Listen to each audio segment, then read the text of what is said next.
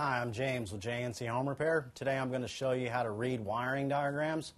First thing you want to know about reading a wiring diagram is you want to know the different symbols that are going to be actually on the diagram. There's different symbols for different things, and, um, and a good diagram will always give you uh, symbols. Uh, it'll give you a page where it has all the symbols listed and what they mean, and it'll tell you exactly what they are.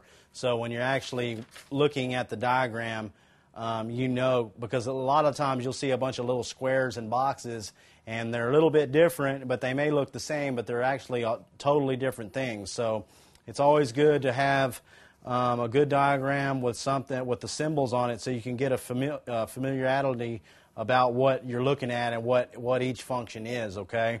Uh, once you've determined what the symbols are and what each thing means, um, then it's as simple as actually going back and looking at your diagram um, there's going to be a wire color chart, and it's going to give you a breakdown of the different color wires, and it's going to give you an abbreviation of that that color wire. Um, you may think that black and blue, maybe you know it's BL, and you may think it's uh, the same, but it's not. You actually, uh, the symbol for black is going to be BLK, and the symbol for blue is going to be BLU. So there is a little bit of a difference. Um, so you always want to make sure that you look at your wire color chart and determine uh, what symbol or what abbreviation they have for the different color wires.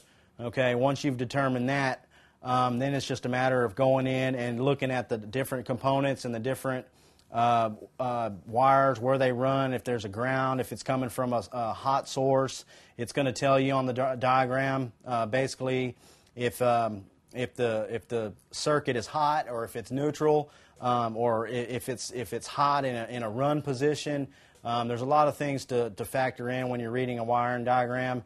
Um, but basically, a lot what most do-it-yourselfers uh, want to read a wiring diagram for is basically just to see what each individual wire, what it goes to, and for testing components or testing switches or whatever else. But basically, that's you know how you read a wiring diagram. Just make sure that you, you know the symbols on the wiring diagram, know the components that you're trying to test or whatever wires are running from, from here to there, and which ones are your grounds and which one are your hot wires.